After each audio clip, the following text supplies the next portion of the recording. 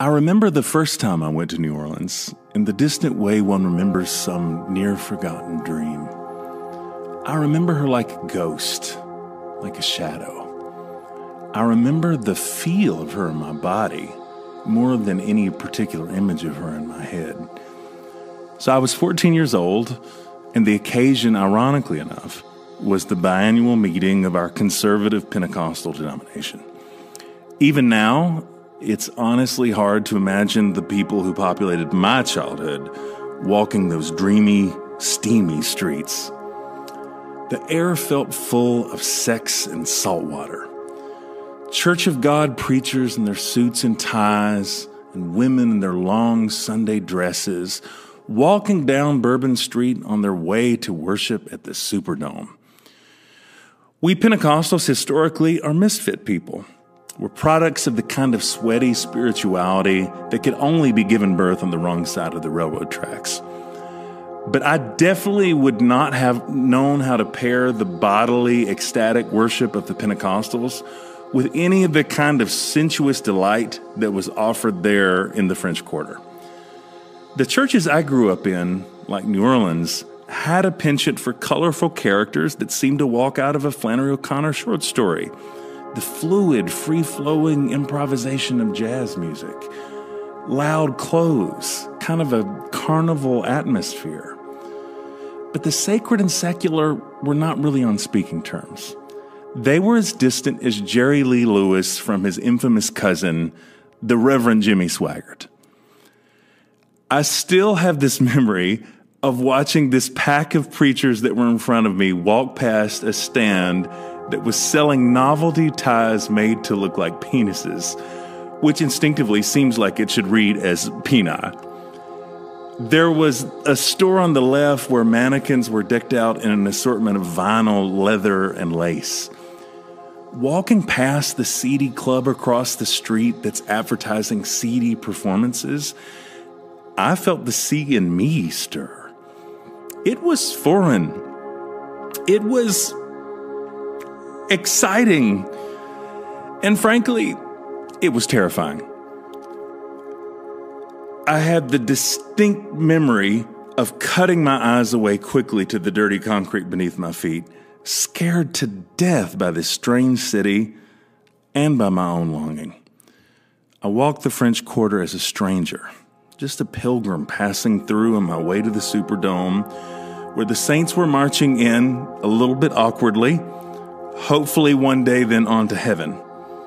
I walk the street as I walk the world so much of my life, as a bystander, a spectator, not as a citizen of the parade. Looking back, I never really learned how to be at home in either world because I never learned how to be at home in my own skin. I longed for the ecstasy that was around me in the tent revival every bit as much as I long for the ecstasy around me in the French Quarter. But I lived too much in my head to get down into my soul, and certainly into my body. I was stuck in my mind and on the surface of things. In both places, I was too afraid and too self conscious to get lost in the music. I believed in all of the Pentecostal business. I wanted the jazz in me the dance in me. I wanted the life in me. I wanted the life Jesus talked about when he said of a believer, out of his belly shall flow rivers of living water. God have mercy. I wanted the life that could only be lived from the belly. Then and now, I want to crackle. I want to howl. I want to rumble. I want to talk in tongues. 22 years later, I walk down Bourbon Street on a clear December morning. I taste the boozy, swampy smell in the back of my throat.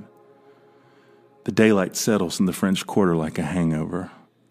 It feels less like today than it does the morning after. The city's coming awake, like a slow storm rising. There's a jazz band setting up on the sidewalk just ahead and from a distance I hear a trombone playing outside the St. Louis Cathedral. A man in a suit smoking a slim cigarette approaches when I walk past the strip club.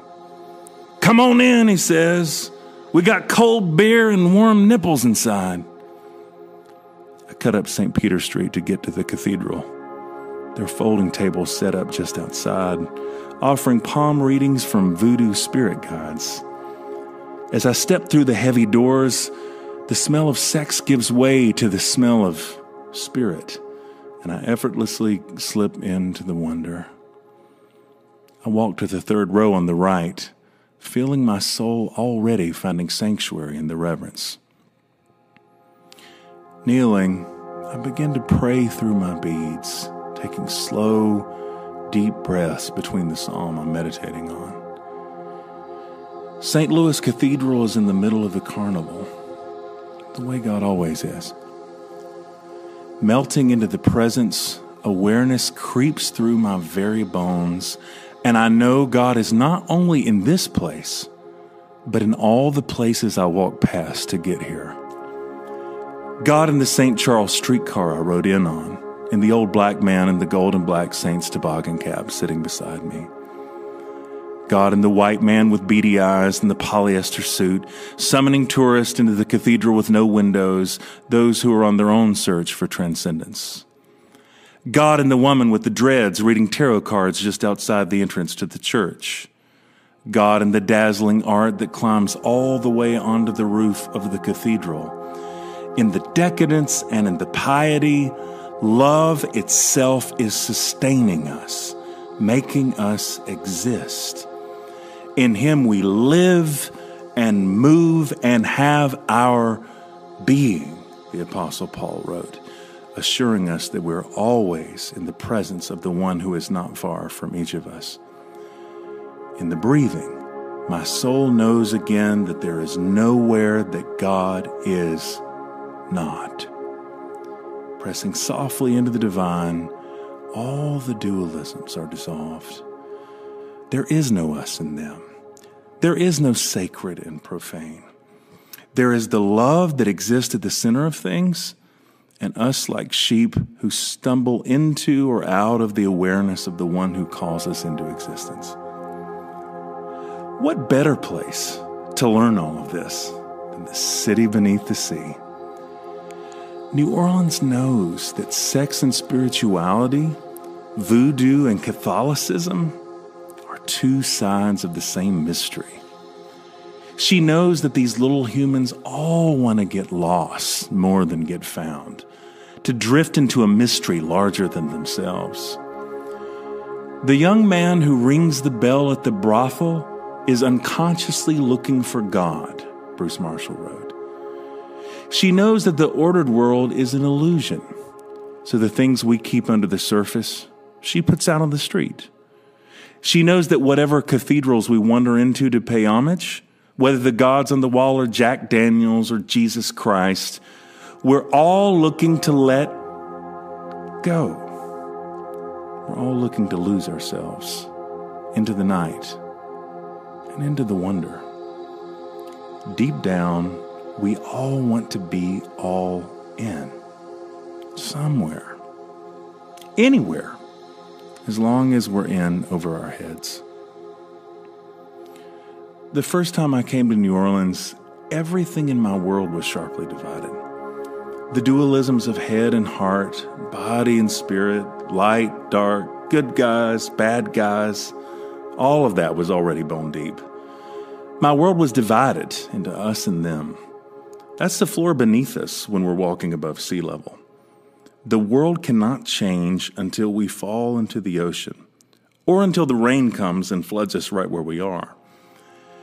New Orleans, as a saucer 20 feet below sea level, wears these secrets like a scar. She knows that in reality, a flood is always around the corner. We just didn't know it until we had one of our own. But the saints and sinners go marching in here without fear. She knows in her bones, after all, that there is life after the flood. The nightmare of Katrina had its way with the city of dreams. The levees broke the waters were merciless, the losses were unfathomable.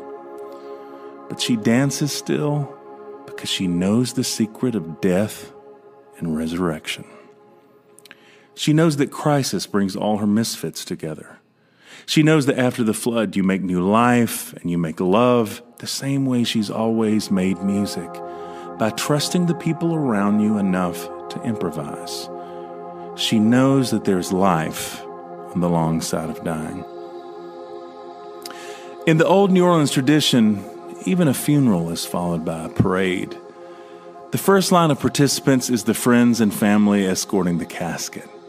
But the second line is comprised of the crowd and any passerby who wants to join the processional.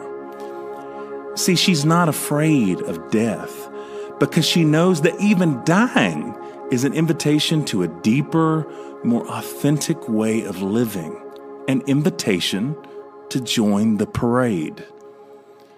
When I came back to New Orleans, I came back after my own flood. The life that had felt so safe, so comfortable, the life that was so familiar, all of that was under the sea, and everything I once loved was now underwater. I'd lost heart, lost hope. I'd lost myself in the depths. In other words, I was finally ready to understand the city beneath the sea. It's no wonder then that sitting in that open air cafe, watching the people outside St. Louis Cathedral, there was no more us and them. I could be kin with the Asian tourist and the grizzly bearded palm reader and the children on the field trip, happier with each other than impressed by the austere beauty of the cathedral. I felt like I belonged on New Orleans' island of drunken misfit toys. Instead of judging her, I came longing for this city of second chances to make room for me around her table, too. Nobody's past is counted against them here. New Orleans doesn't just smell like sex and salt water to me anymore. She smells like the gospel.